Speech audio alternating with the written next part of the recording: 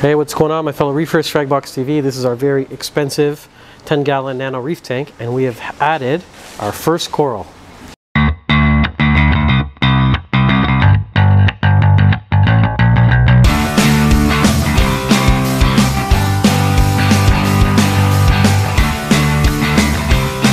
Okay, so I really wanted a bubble tip anemone in this tank, and we have these very cool yellow ones that we don't normally get uh, in stock. And you can see he's actually moved. So I started him out over here on the front. That was maybe an hour ago, and this coral has decided that's not the spot. So this is one thing to keep in mind if you're gonna try and keep an anemone. You don't tell them where to go, they're gonna tell you where they're gonna go. So he's decided to move, and he's in a very, very crappy spot over here in the back. So uh, hopefully he's going to move to somewhere where we can enjoy him. And why did I add this anemone? Because if you're going to add a nem to a tank, we usually recommend adding it sooner rather than later. So this is going to have lots of nice corals and anemones sting everything that they touch. They're very, very powerful with their sting. I don't think, is there anything that kills nems? No. Other nems, other nems. Other nems, Yeah. but other than that, That's it. that's it. Nems, like if I were So to, you called a, you called an anemone a coral. I call it a coral? Okay, it's not a coral, it's an anemone.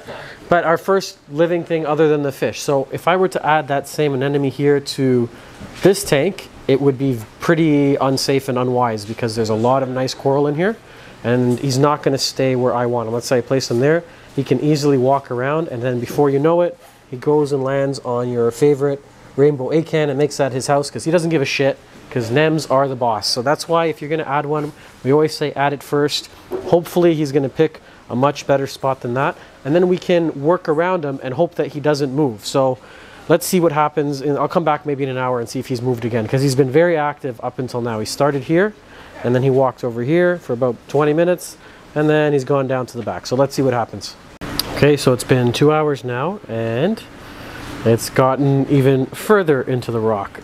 You can see it here. It's uh, it's kind of hard to get with the camera. He's like wedged himself underneath. So that's just one thing to keep in mind for anemones. You are not going to decide where he's going to go. I'm hopeful that he's going to come out and make himself shown and we can uh, actually enjoy it, but let's give him a little more time. Okay, I've given this stupid Nem a day and he has decided that this is his final resting place, which sucks because it's a very nice Nem and that's not where I want to see it. I want it out in front. Tia says, what did you say? Turn the rock. She says, just turn the rock. Nothing else in here. Yeah, but then he's going to be exposed to the light and flow on this, and he's probably just going to move to the back again anyways, right? Maybe he doesn't know what he wants. Maybe he doesn't know what he wants. Sounds like me. Um, okay, so I think we're just going to take this stupid nem out and go a different direction. No? No. Leave it? Uh, But uh, no, you can't even see it. Just enjoy it, and then we're going to fill it up with nice corals, and one day it's going to move and, and attack our nice acans or something. Nah, we're just gonna do bubble. Okay, we're taking the. Ne- I'm I'm vetoing Tia's decision. Sorry. Uh, what do you guys think? Comment below. You guys have any good tricks for getting a nem to stay where you want it to stay? Because this this is not that's not going to work. And it's a really nice anemone. But uh, I think I'm giving up on it. I think I'm going to yank it out. We're going to go a diff- different direction with this thing. Tia's saying no. Tia's giving me the the disapproval nod. Um, anyways, if you guys got any questions, I think this is the end of the video. I'm going to leave our contact info, like I always do, at the end.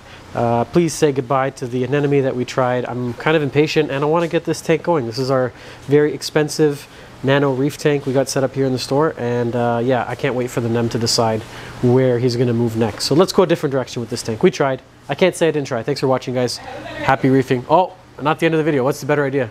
Crazy rock flower and everything. Ah, get out of here. Crazy Rock. She's... They don't move that much. All the employees at Fragbox do drugs. Okay, bye. Happy reefing. This is Fragbox TV.